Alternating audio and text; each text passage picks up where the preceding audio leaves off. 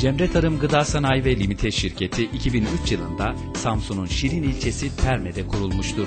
Cemre Tarım, tecrübeli kadrosuyla Karadeniz bölgesinde bodur ve yarı bodur meyve bahçeleri kuran ilk özel firma konumunda bulunmaktadır. Son yıllarda ülkemiz meyveciliğindeki hızlı değişim Karadeniz bölgesinde Cemre Tarım'la başlamış ve önemli mesafe kat etmiştir.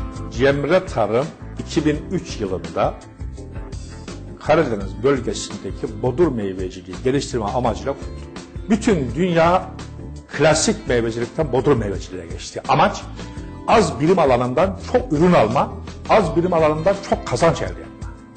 Biz bu bölgenin çocuğu olarak, bu bölgenin insanı olarak bölgemizin bodur meyve yetiştiriciliğinde e, çok ideal iklim koşullarına sahip olduğunu, çok önemli coğrafi yapıya sahip olduğunu gördük ve bodur meyveciliğin bu bölgeye mutlaka ve mutlaka girmesi gerekiyor. Biz bu konuda çiftçilerimize örnek olma amacıyla Cemre Tarım Gıda Sanayi Limited şirketini kurduk ve bölgemizde 50'nin üzerinde muhtelif bahçeler kurduk. 50 civarında sadece Terme'de kurduk. 80 civarında da bölge bölgede kurduk. Yani bu Tokat'tı, Amasya'ydı, Ordu'ydu, Sinop'tu, efendim hatta Zonguldak, hatta İstanbul'da dahi bizim bahçelerimiz var.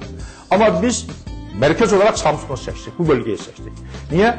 Bu bölge halkının ekonomi seviyesi düşük olduğu için altyapısı da müsait olduğu için bu bölgede bodur meyveciliği biz güçlendirmemiz lazım. Bu bölgemizin insanı e, ekonomik olarak onlara belli seviyeye çıkartmaya çalıştık. Çünkü bu bölgede e, Türkiye'de en çok göç veren bölgelerden, yörelerden bir tanesidir. Buradaki göç diğer yer, yörelerdeki gibi değil. Ekonomik göç buradaki. Bu insanları kendi toprakları üzerinde ekonomik olarak ayakta tutabilmenin önemli bir versiyonudur bu. Cemre Tarım bu gözle burada bu işe başlamıştır. Cemre Tarım, bugün bölgede modern meyveciliğin gelişiminde lider kuruluş olarak hizmetlerine devam etmektedir. Biz burada mümkün mertebe Cemre Tarım olarak üründe kaliteyi esas aldık. Kaliteli ürün üreteceğiz ve bu bölgenin bir e, negatif tarafı var. Bu da rutubetli oluşundan dolayı bodur meyvecilikte e, kara leke bir hastalık var. Bununla hastalık gelmezden önce mücadele etmek gerekiyor. Biz bu konuda çok duyarlıyız. Ve mümkün mertebede ürünleri kaliteli şekilde üretiyoruz.